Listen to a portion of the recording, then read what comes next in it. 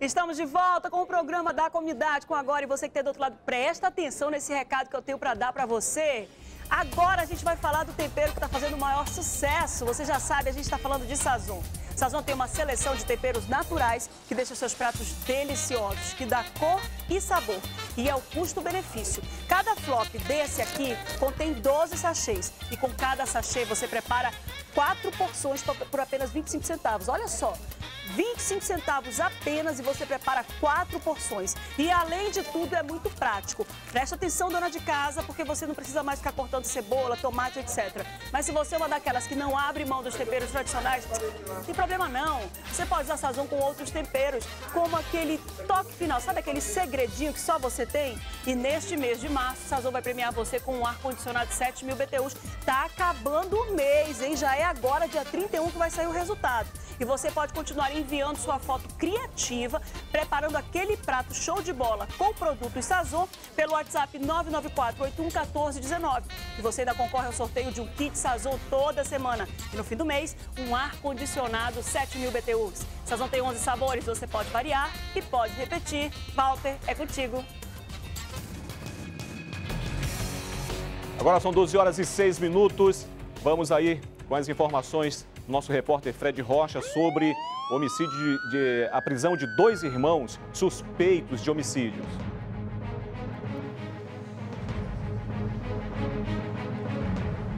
Pois é, agora pela manhã a polícia apresentou os irmãos Daniel da Silva Gama, de 20 anos, e Daiane da Silva Gama, de 22 anos. Eles são suspeitos de assassinar Simon Coelho Freire, de 21 anos. Segundo as investigações, o crime aconteceu no dia 20 de outubro do ano passado, no bairro de Petrópolis, na zona sul de Manaus. A motivação do crime seria envolvimento com o tráfico de drogas, uma dívida. Quem tem mais informações sobre esse caso, o delegado titular da Delegacia de Homicídios e Sequestros, doutor Ivo Martins. O delegado, é justamente isso, a motivação seria ali uma dívida que a vítima teria com uma das pessoas que participaram do crime, é isso? Justamente, inclusive já está morta. Essa pessoa que participou do crime, que é o Elionai, vulgo Pretinho, já está morta. É, e foi morto justamente pelo credor da dívida, é, que o Jackson, vulgo Chan. Essas duas pessoas, o Elionai e o Jackson, eles seriam os donos da droga que era devida pelo Simon. Simon então tinha uma dívida de 500 reais em dinheiro de mil reais por uma droga, né? Que o Elionai, falecido Elionai, a Daiane, o Daniel e outro irmão dele, menor, que está apreendido na delegacia, menor infrator, eles então resolveram cobrar essa dívida e cobraram a pauladas, fazendo com que o, o Simon fosse a óbito é, alguns dias depois no hospital. Encheram o rapaz de paulada, morreu por conta mais um crime relacionado ao tráfico de drogas. E, doutor, muito obrigado pelas informações, delegado titular da Delegacia de Homicídios e Sequestros, Ivo Martins. As investigações vão prosseguir nos próximos dias e a polícia deve esclarecer esse caso. Fred Rocha para o Agora.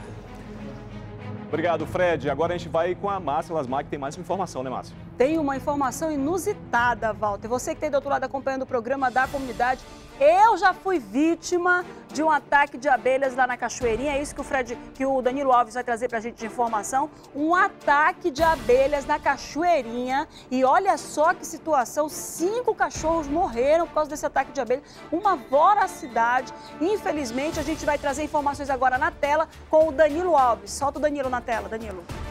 É, o ataque de abelhas começou por volta das 8 horas da manhã aqui na rua Maués, no bairro da Cachoeirinha, na zona centro-sul de Manaus. O que aconteceu foi o seguinte, essa casa aqui é, já tem aí três meses que tem essa casa de abelhas, as, os animais, os insetos se infiltraram aí numa casa, dentro de uma caixa de isopor, e quando foi por volta de 8 horas, é, alguma coisa, né, que não foi ainda especificada, é, assustou os animais, os insetos acabaram eles atacando Aqui, aqui nessa casa funciona um, um centro de espiritualidade, né? E o que aconteceu foi que é, moram aqui, além do seu Delmar, que é o dono da casa, e da mãe do seu Delmar, mais de 40 cachorros, 40 animais. E cinco que ele resgata na rua, como ele está falando, e cinco deles acabaram falecendo por conta aí da, desse ataque de abelhas. Ele vai falar um pouco, ele também está ferido por conta desse ataque, ele vai falar um pouco para a gente como é que foi que aconteceu, seu Delmar. É, já tem aí há um tempo essa casa, o senhor já chamou o corpo de bombeiros antes? Diversas vezes. Eu ligava para o corpo de bombeiro, sempre vinha e não vinha, sempre vinha e não vinha, e eu, para mim me proteger, o que que eu fazia? Eu botava jornal, tocava fogo, elas se afastavam, mas retornavam, eu acho que ficaram com raiva de mim, e, e, atacaram esses animais, mataram cinco cachorros e os outros 41 foram todos picados, mas graças a Deus estão é, aí, estão no quintal mas minha mãe foi atacada, mas com pouco, e eu protegi ela. Fiz diversos é, é, fogo dentro de casa para poder, se eu me liberava daquilo. Começou às 8 horas e até às 9 e meia ninguém apareceu. Foi preciso a vizinhança e meus próprios clientes que estavam dentro da sala de espera fazer a, a solicitação. Mas foi a coisa mais horrível que eu já passei na minha vida e que eu já vi. Ok, muito obrigado, seu Delmar. Olha, o Corpo de Bombeiros esteve aqui no local às nove e meia da manhã, como o seu Delmar falou. Eles isolaram a área, mas o capitão Silomar Arraes conversou com a gente e disse que é, a área foi isolada, mas o trabalho só vai poder ser feito à noite, que é quando os insetos eles ficam mais alojados dentro da casa e o trabalho de dispersão pode ser feito normalmente. A gente está evitando que as pessoas se aproximem, porque as abelhas durante o dia não tem como retirar ou controlar abelhas durante o dia. A gente temos que voltar aqui à noite e realmente é, controlar esse foco. Danilo Alves para o programa agora. Gente, olha, vou dizer uma coisa para vocês. A sorte é que ele não é alérgico e não tinha nenhum alérgico nas redondezas. Porque quem tem alergia à abelha morre se for picado, se não receber atendimento o mais rápido possível. Olha só o que aconteceu. Se matou cinco animais, o que pode fazer com uma pessoa, uma única picada de abelha numa pessoa que tem alergia, mata na hora fecha a glote, a pessoa fica sem conseguir respirar e o atendimento tem que ser imediato, porque em 5 minutos você perde a consciência e em 15 você está morto se der sopa. Então isso aí é uma situação de grande risco, de grande perigo que realmente precisa ser controlado. É impressionante como o morador veio dizendo pra gente que já não era a primeira vez que ele reclamava. A minha sogra e o meu marido, que fez inclusive um tratamento com picada de abelha no joelho por causa de uma distensão, disse que se você matar uma abelha, vem a família inteira cobrar a morte daquela abelha. Então é importante que a gente tenha alguns cuidados, tentar aí chamar realmente o corpo de bombeiros, não ir lá derrubar a casa de abelha ou tentar tirar a casa de abelha, porque nós não sabemos quais são as técnicas utilizadas para fazer esse controle das abelhas, para que elas não dispersem e não acabem aí afetando todo mundo. Infelizmente, os cinco, os cinco cachorros acabaram morrendo, mas graças a Deus ninguém ficou ferido. São 12 horas e 12 minutos, a gente sai da capital e vai para Parintins, né, Walter? Isso mesmo, Márcia Lasmar. Vamos para, vamos para a cidade de Parintins, lá com o nosso repórter e apresentador do Agora de Parintins, Tadeu de Souza, porque lá na ilha do Pinabarana teve duplo homicídio e a gente vai conferir as informações. Final de semana muito violento, com muitas prisões aqui na ilha Tupinabarana, com muitos arrombamentos, também muitos assaltos registrados aqui na cidade de Parintins. Nosso destaque é um duplo homicídio que aconteceu na zona sul da cidade. Na tela do agora. O ex-presidiário Wellington de Jesus Tavares Fabiano, 26 anos, conhecido como Fedor, matou com uma facada na coxa direita Raimundo Jorge Alves Gonçalves, 34 anos. Os amigos de Raimundo Jorge voltaram ao local do crime e vingaram sua morte, desferindo uma terça dada no pescoço de Wellington e outra no braço além de outros golpes menores. O delegado Bruno Fraga está investigando o caso. Ninguém foi preso até o presente momento. O Erison de Jesus e Raimundo Jorge foram sepultados no dia de ontem no cemitério São José. E nós não conseguimos pegar a, a turma que matou, né, o, o Fedor até um momento, né, mas a, a nossa guarnição está na rua, ver se consegue pegar os infratores. E uma outra informação, a Orla de Parintins voltou a desmoronar por causa do inverno rigoroso que está aqui na nossa região. Na tela do agora. O desmoronamento aconteceu na madrugada de domingo 27, durante a forte chuva que caiu sobre a cidade de Parintins.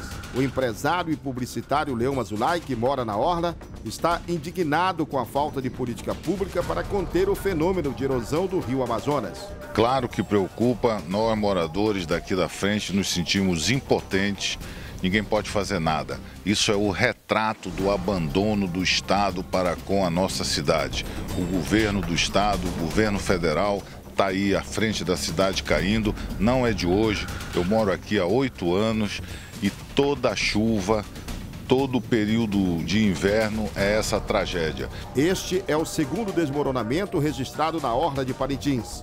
O primeiro foi no início do mês de março, quando as chuvas se intensificaram na região. A Polícia Militar interditou parte da rua Caetano Preste Centro, onde ocorreu o desmoronamento. A Prefeitura aguarda um laudo da Defesa Civil Estadual para saber a extensão do problema. Muita chuva aqui em Parintins, continua a manhã toda de intensa chuva e, é claro, os moradores da rua Caetano Prestes estão apreensivos por causa desses constantes desmoronamentos que estão sendo registrados naquele trecho da orla da cidade de Parintins. Do estúdio da TV em Tempo, em Parintins, Tadeu de Souza para o programa Agora.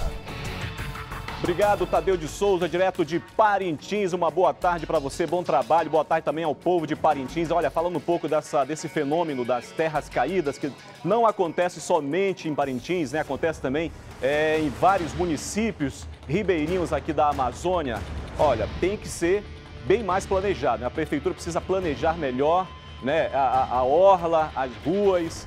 Então, o fenômeno é real, acontece todo ano, ainda mais nesse período de chuva.